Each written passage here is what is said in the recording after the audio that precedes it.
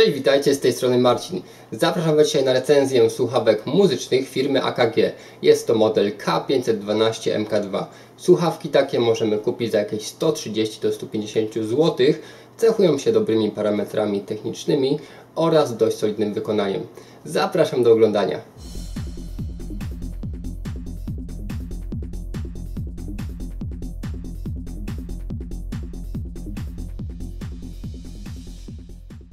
Ok, moi drodzy, zaczynamy recenzję. Jak widzicie, słuchawki konstrukcją przypominają chociażby SteelSeries Siberię, czyli jest to dość znana konstrukcja, dość powszechna. E, wielu producentów korzysta z tego typu zawieszenia, z tego typu pałąka. E, same słuchawki są bardzo fajne, ponieważ są lekkie, ważą około 200 gram. Do tego mamy długi kabel 2,5 metrowy. Jest taki zwykły kabelek, ale wychodzi za to z jednej muszli. E, na końcu mamy taki profesjonalny, pozłacany wtyk mini jack. Mamy też przejściówkę w komplecie na dużego jacka. E, co jest jeszcze ciekawe, kabel ma 2,5 metra, więc bez problemu możemy korzystać z nich na przykład przy telewizorze, a sam ten przewód w środku wykonany jest z miedzi OFC. Oczywiście ma to zapewnić jak najlepsze przewodnictwo dźwięku. Tak samo ten pozłacany wtyk ma nam dać lepszą jakość dźwięku. Jeśli chodzi o parametry, impedancja w tych słuchawkach wynosi 32 ohmy, czyli bardzo często spotykany parametr. Czułość to 109 dB, a pasmo przenoszenia wynosi od 16 Hz do 20 kHz. Generalnie są to słuchawki typu zamkniętego, nie doczytałem się e, jakiej wielkości są przetworniki, ale biorąc pod uwagę wielkość tych muszli to będą albo 40 albo 50 mm e, neodymowe przetworniki. Teraz tak, może chwilka o samym dźwięku. Ponieważ są to słuchawki ze średniej półki cenowej, e, jeśli chodzi o takie słuchawki dla melomanów, są przystępne cenowo, i dają naprawdę niezły dźwięk za taką kasę. Za 150 zł można spokojnie je sobie kupić do takiego użytku ogólnego, czyli do posłuchania muzyki, czy z komputera, czy z jakiegoś sprzętu hi-fi. Można je podłączyć z powodzeniem do telewizora, można ich używać także do grania przy komputerze. E, natomiast nie będziemy mieli tutaj aż takich efektów, takiego pozycjonowania jak w, w słuchawkach dla graczy, ponieważ są to słuchawki e, typowo stereo ale pod tym względem też nieźle da się w tych słuchawkach pograć. Natomiast co do słuchania muzyki, w tym przypadku jest naprawdę nieźle, jest lepiej niż poprawnie, ale z drugiej strony nie jest to jakiś szałowy efekt. Słuchawki po prostu grają bardzo, bardzo przyzwoicie, ale przyjrzyjmy się im jeszcze pod względem wykonania.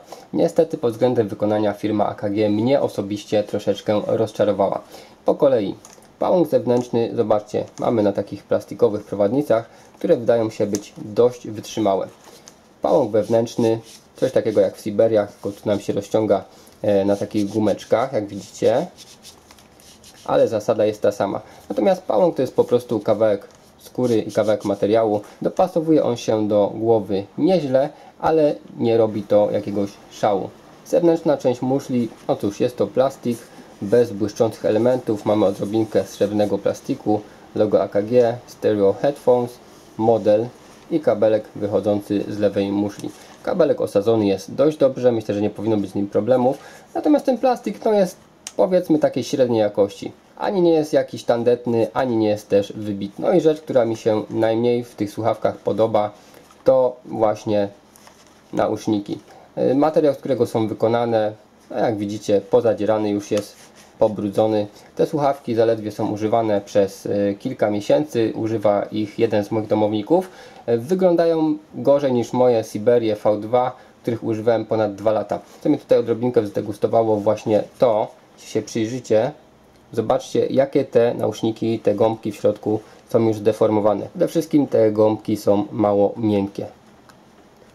Nie jest to zupełnie to samo co chociażby w Siberiach i tam mamy tak zwany memory foam, czyli piankę, która wraca potem e, do swojego pierwotnego kształtu, wymiaru. Natomiast tutaj jak widzicie to wszystko jest miejscami spłaszczone, poubijane. Słuchawki są bardzo, bardzo brudne i już myślę, że raczej ciężko by było z tym coś zrobić. Przy okazji widzicie w środku mamy też duże oznaczenia słuchawka lewa, prawa.